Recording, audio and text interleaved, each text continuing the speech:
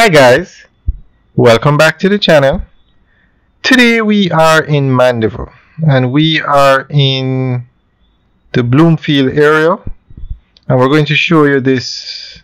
Well the building on the left is the Avista at Bloomfield and the building straight ahead is the one we're going to focus on today is a call center building. It's a BPO building. We'll give you video we'll do videos on all the buildings. We did one on the Avista already. You can check it out.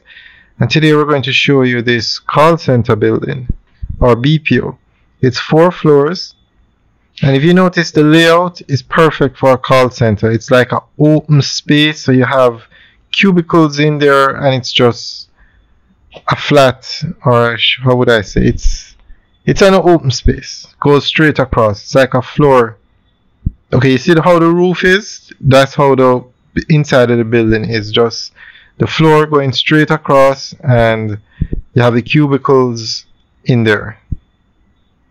This is the perfect format for a BPO at first they would when the BPO business or industry started in Jamaica they would take an existing building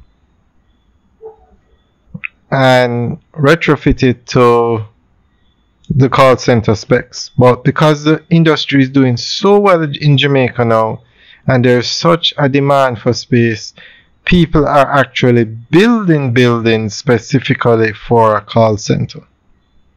So this is one such example. Alright guys, enjoy the rest of the tour.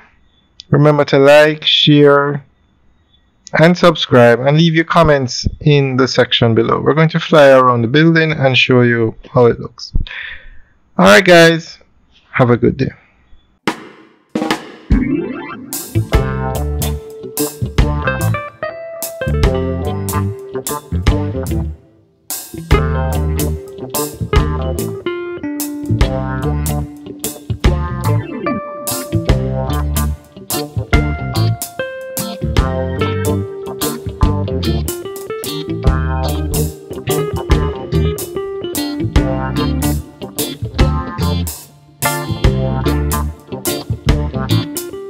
Bye.